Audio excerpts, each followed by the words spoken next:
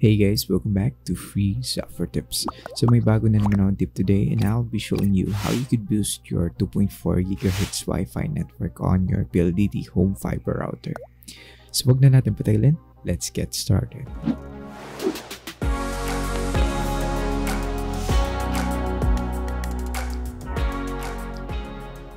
First, shoutout natin si Sarora TV for subscribing on this channel and also for requesting this tutorial.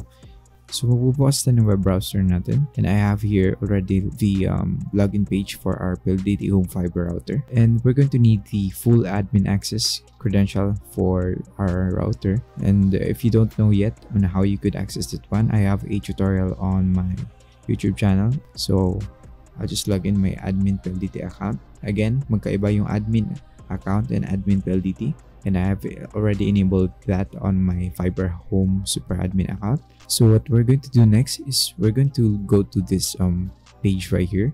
I'm going to put this link on the description and click on the download wi-fi channel scanner. It will take you to this google drive um, download page. Simply download that one and install it on your computer. Open it up and you'll be shown with this kind of interface just going to leave it like that. And uh, under the um, network tab click on the basic settings.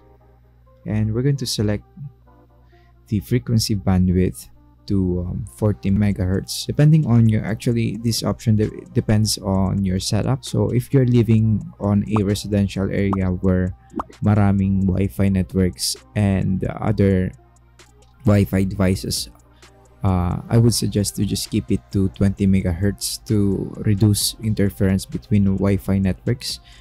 Kasi pag mas maraming uh, Wi-Fi networks or mas maraming congestions with Wi-Fi networks sa area niyo, uh, if you're going to set it to 40 megahertz, it could possibly overlap with other Wi-Fi channels which could result to interference and uh, sudden disconnection on your Wi-Fi network.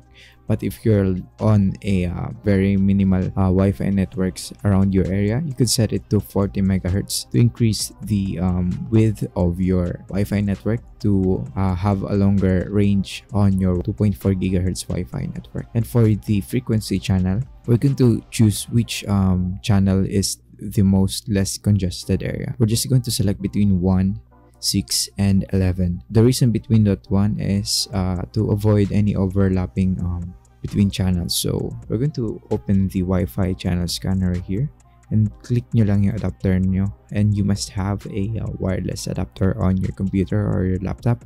You could also use your mobile phone. By installing a Wi-Fi analyzer app I will make a different um, tutorial for that one. And what you have to just simply do is click on the adapter and click on your Wi-Fi icon right here and it will search for Wi-Fi networks. And as you can see dito nakalagay lahat yung mga channels that are currently being used by different Wi-Fi networks. Channel 1, channel 9, channel 1, channel 9. For this other 72 channel, these are 5 GHz Wi-Fi network kaya masyadong malayo siya compared to the um, 2.4 GHz Wi-Fi network. So as you can see, the least used channel is 11. So we're just going to select the frequency channel to um, 11. We're going to set that one to 11. Again, this um, option may vary depending on your setup. Kaya natin to in-install tong Wi-Fi channel scanner para malaman natin kung anong channel yung best para sa ating Wi-Fi network. After natin malaman kung ano yung best frequency for our 2.4 GHz Wi-Fi network, select lang natin yung apply button. You only have very few Wi-Fi networks around your area. You could set that one to 40 MHz to increase the range of your 2.4 GHz Wi-Fi network. Next, we're going to go to the Wi-Fi control under the Wi-Fi control, you will be able to see the Wi-Fi power control. Set natin to to um, 100%. Don't uh, set this one to 200% because again, it would cause interference between Wi-Fi networks. So I would suggest to just keep it to set as 100 and make sure to hit the apply button. Next, we're going to go to the LAN settings. So LAN settings in the broadband settings and under the um, DHCP service, click-click nyo tong server. Could possibly be disabled but most probably by default it's um, enabled and set to the server.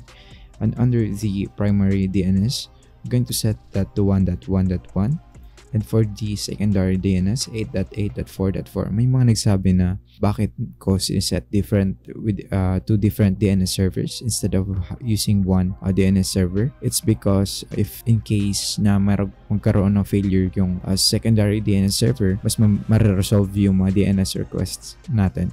Hit the apply button once done and you can now log out the um, on the uh, router and you go ahead and restart your PLDT home fiber router. So that's basically it. That's my um, tip on how you could boost your 2.4 gigahertz Wi-Fi network on your PLDT home fiber. So if you, this video helped you don't forget to leave your comments and feedbacks down below and like this video. And if you haven't subscribed on this channel yet click that subscribe button and bell notification to get updated with the latest tips and tricks on this channel.